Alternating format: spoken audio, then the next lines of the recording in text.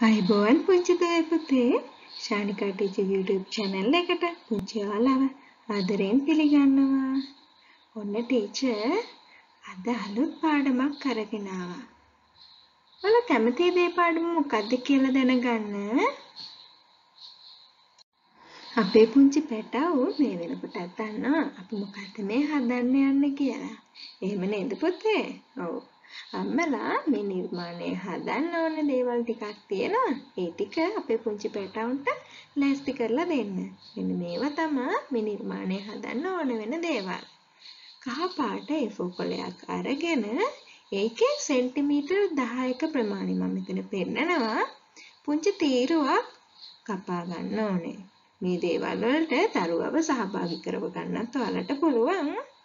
ඒ වගේම සෙන්ටිමීටර් හතරක ප්‍රමාණයේ තව පුංචි තීරුවක් ඕනේ. බලන්නකො මොනවටද ඕනේ වෙන්නේ කියලා.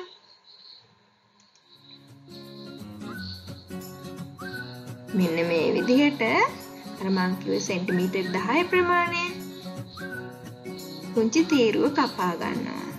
මේ තියෙන්නේ මං කිව්වේ සෙන්ටිමීටර් 4 ප්‍රමාණයේ පුංචි තීරුව.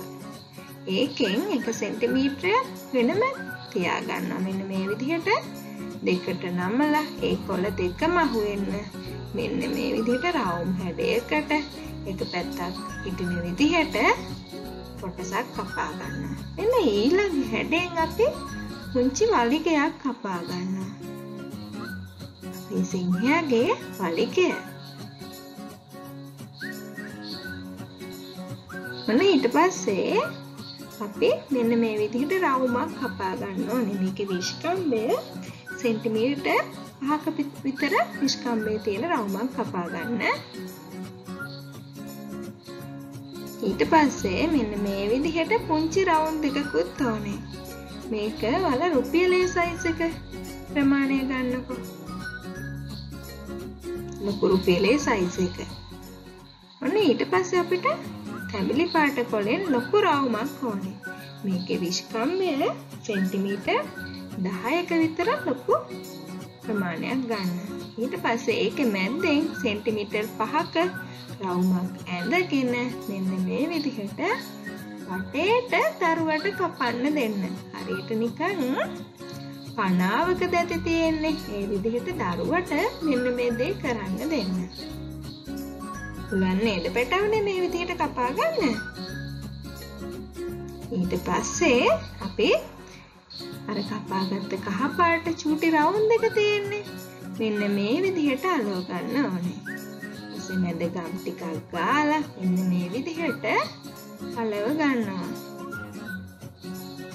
ඔන්න අර දිග තීරුවක් ගත්තේ. ඒකේ මෙන්න මේ විදිහට සිංහගේ කකුල් දෙක අලව ගන්නවා මෙන්න මේ විදිහට රවුම් කරගන්න ඕනේ. තේරුණා නේද රෝල් කරගත්ත හැටි? ඊට පස්සේ අපි හදන්නේ මේ සිංහයාගේ ඇස් දෙක කපා ගන්න චූටි රවුමක් ඇඳගෙන සුදු පාට කොලයක චූටි රවුමක් ඇඳගෙන මෙන්න මේ විදිහට වටේට කපලා අපිට පුළුවන් එයාගේ ඇස් දෙක මේ විදිහට අලව ගන්න. ඔයාලටත් පුළුවන් නේද පුතේ? ඊට පස්සේ අපි එයාගේ පුංචි නහයයි කටයි මෙන්න මේ දේවල් ලස්සනට ඇඳගමු. ඇස් දෙකයි කන් දෙකත් ඇඳගමු නේද ලස්සනට?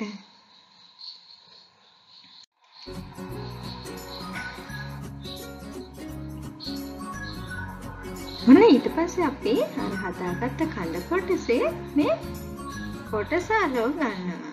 කිව්වා නේද?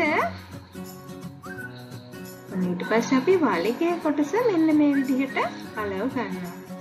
දැන් කළු පාටින් අපිට පුළුවන් මෙන්න මේ විදිහට ලස්සන කරගන්න. ලස්සනයි නේද පුංචි යාළුවනේ? තවත් අලුත් නිර්මාණයකින් අපි ආයෙත් හමු වෙමු.